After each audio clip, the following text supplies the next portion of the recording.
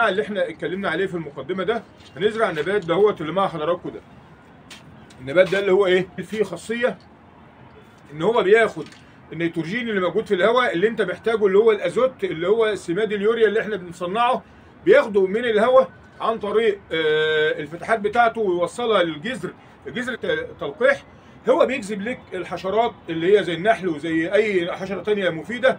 وبتمتص الرحيق وبالتالي بت- بتلقح لك بقيه السطح بالذات لو انت زارع باشون زارع حاجات من دي بتحتاج تلقيح بالحشرات. ال- اللي هو عمله ده يا جماعة سماد سماد سماد فوق الخيال اسمه السماد الأخضر. تزرع بعده الزرع بعد ست أسابيع لثمان أسابيع يبقى انت عندك كده سماد رهيب الزرعة اللي جاية هتبقى زرعة قوية جدا جدا. محدد لطبقات التربة اللي تحت اللي في الوعيه اللي عندك كتير فبيصفي لك المية اللي تحت فبيمنع أعفان الجذور بيمنع آه، تكون الأملاح اللي في التربة اللي بتؤدي إلى تدهور حالة النبات بصفة عامة. يبقى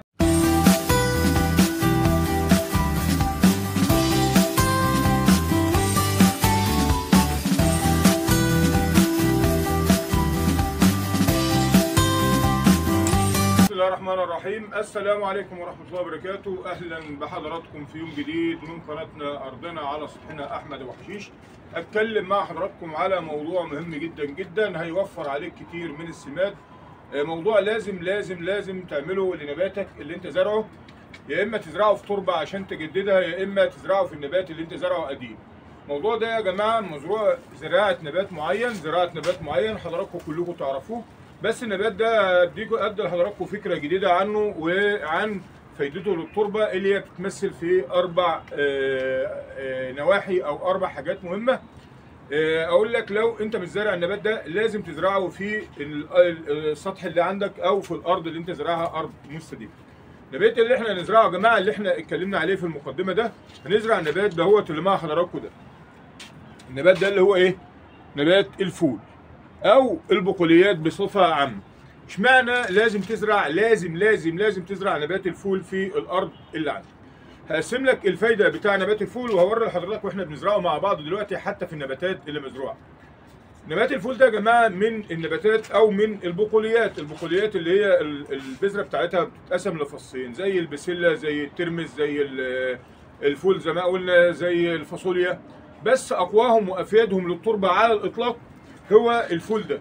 ليه بقى؟ اشمعنى نبات الفول؟ إيه اللي بيميزه وإيه اللي بيخليك لازم أقول لك ازرعه اولا ناخد الفايدة الأولانية الظاهرية له. الجذور بتاع نبات الفول دي جذور وتدية. يعني إيه جذور وتدية؟ يعني جذور بتتعمق في التربة تحت وكثيفة كبيرة. فبتخلي الزرع اللي عندك ده آه، اللي هو المية بتبقى في الشوالي اللي أنت بتزرع فيها. المية بتوصل لحد باطن التربة من تحت وما بتتصرفش كويس. ده بيعمل اعفان للجذور وبيؤدي إلى ان التربة مرة بعد مرة التربة بتبوظ. تيجي تزرع تلاقي النبات عندك ما عادش بينمو بشكل كويس. انت بتشوف الشكل من فوق ناشف انما هي التربة تحت أو الصندوق اللي تحت فيه مية. الجذر بتاع النبات ده بتاع الفول ده بالذات يا جماعة بيتمدد لطبقات التربة اللي تحت اللي في الوعيه اللي عندك كتير فبيصفي لك المية اللي تحت فبيمنع اعفان الجذور بيمنع آه، تكون الأملاح اللي في التربة اللي بتؤدي إلى تدهور حالة النبات بصفة عامة. يبقى ده أول سبب إن جذور وجذور وتدية بتخلص المية آه، اللي هي في باطن الوعيه اللي أنت زارع فيها. بالذات يا جماعة على ال- آه، السطح. تمام؟ تاني حاجة إن إن الفول ده لوحده يعتبر سماد. يعني إيه سماد؟ يعني الفول ده ربنا عامل فيه خاصية إن هو بياخد النيتروجين اللي موجود في الهواء اللي انت محتاجه اللي هو الازوت اللي هو سماد اليوريا اللي إحنا بنصنعه بياخده من الهواء عن طريق آه، الفتحات بتاعته ويوصلها للجذر. الجذر ده فيه بكتيريا اسمها بكتيريا عقديه بكتيريا عقديه موجودة بكثرة جدا جدا على جذور النبات. طب هي بتعمل إيه للنبات؟ اولا لو انت زارع الفول زي ما أنا بعمله كده عندي هنا على طول جنب نبات تاني هي بتثبت النيتروجين بتحول النيتروجين من نيتروجين الهواء اللي مختلط مع أكسجين وهيدروجين وكده بيتحولوا لنيتروجين النبات قادر يمتصه النبات ما بيقدرش يستفاد من النيتروجين الموجود في الهواء. هنا كده بقى خلاص النبات يقدر يستفاد منه بالذات ال- عفوا النبات اللي مزروع مع الفول. طيب هو نبات ال- التربة بقى هتستفاد إيه؟ لما أنا آه، بزرع الفول الفول ده يا جماعة في الفلاحين يقول لك إيه إحنا رايحين نكسر الفول. يعني إيه نكسر الفول؟ يعني ما بيقلعوش الفول بجذوره بي- بيقطموا العود كده ويسيبوا الجذور في الأرض. سيبان الجذور في التربة ده مهم جدا جدا جدا. البكتيريا العقدية اللي موجودة على الجذور ديت بتفضل في التربة بتثبت النيتروجين فبتخلي النبات اللي مزروع بعدها بينمو بشكل رائع رائع رائع. عشان كده الزرعة اللي بعد الفول بتبقى زرعة جاية مصحصحة وفايقة وزي الفل وعسل. تمام؟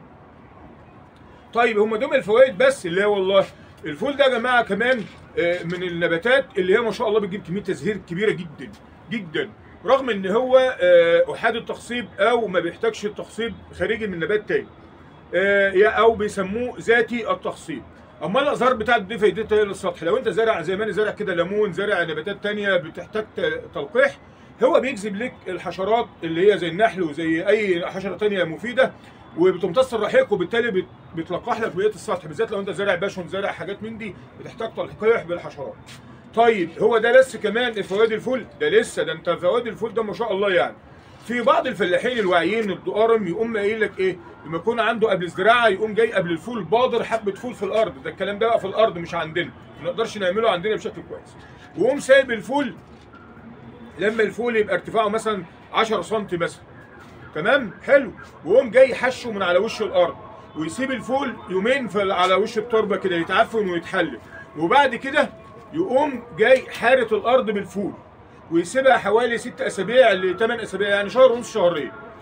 اللي هو عمله ده يا جماعة سماد سماد سماد فوق الخيال. اسمه السماد الأخضر. تزرع بعده الزرع بعد ست أسابيع ل 8 أسابيع يبقى أنت عندك كده سماد رهيب. الزرعة اللي جاية هتبقى زرعة قوية جدا جدا.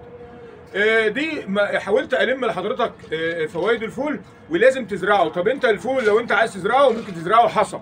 زي ما هو كده في الأرض وتبله هيطلع معاه بس الأحسن إن أنت تبله قبلها بيوم وبعدين تزرعه. طب تزرعه جنب النباتات؟ آه ازرعه جنب النباتات. كل نبات انت زرعه ممكن تزرع جنبه آه، وحده فول ووريته لحضراتكم في الفيديوهات عندنا وإن شاء الله اوري حضراتكم حاجات تانية. أتمنى إن تكون حضراتكم استفدتوا من الفيديو إن شاء الله رب العالمين. وألتقي حضراتكم في فيديو جديد ولا تنسوا اشتراك في قناتنا أرضنا على سطحنا اللي إحنا اتكلمنا عليه في المقدمة ده هنزرع النبات دهوت اللي مع حضراتكم ده.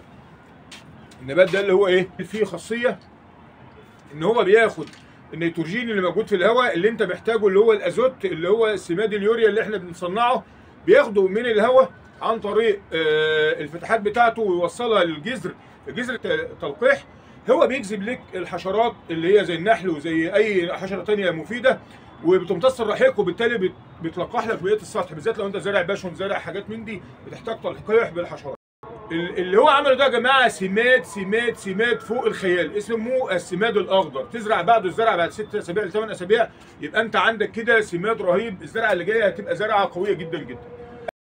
محدد لطبقات التربة اللي تحت اللي في الوعيه اللي عندك كتير فبيصفي لك المية اللي تحت. فبيمنع أعفان الجذور بيمنع آه، تكون الأملاح اللي في التربة اللي بتؤدي إلى تدهور حالة النبات بصفة عامة. يبقى